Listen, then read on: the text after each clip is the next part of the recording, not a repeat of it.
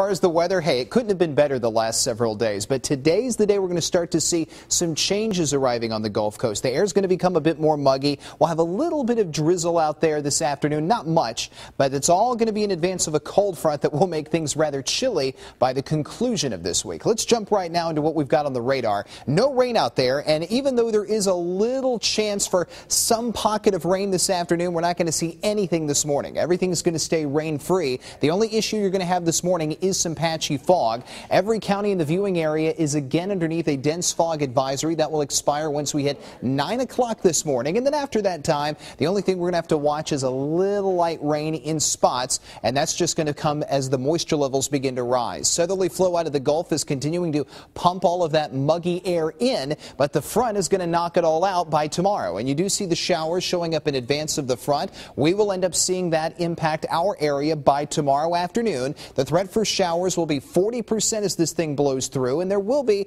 a few rumbles of thunder in the mix, but not that many. And then we'll end up on the back edge of the front by the time we hit tomorrow night. We'll end up dry for the rest of the week, but we will turn much cooler. Right now in the port city, you have 59 degrees, Pascagoula 55, so the temperatures aren't too bad right now. Fairhope 55, Daphne 66, Theodore at 62, low 60s around Loxley and Summerdale, 59s from Foley all the way to Elberta. Lillian, you've got 58, Pensacola at 60. Here's how the Futurecast breaks this down. We do stay dry through the morning. We'll stop the clock at about 3 this afternoon, and there's your low end rain chance. We're only keeping the probability of rain at 10% for today.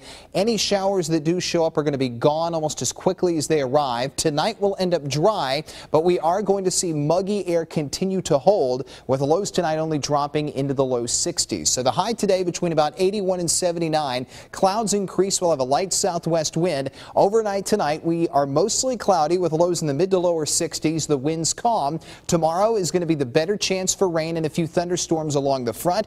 And then look what happens with the temperatures. We drop to 58 Wednesday night. The high Thursday and Halloween Friday only 75, but the high Saturday only 68 degrees. Much cooler air pumping in. The low Saturday night gets down to 43, and we will fall back on Saturday night. Daylight saving time will end and standard time will return. I'll have another forecast update for you coming up at 5:30. Eric?